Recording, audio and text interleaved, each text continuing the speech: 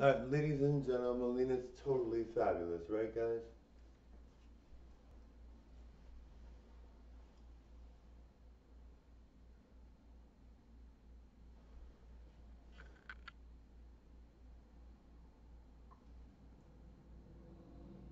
Bye everyone.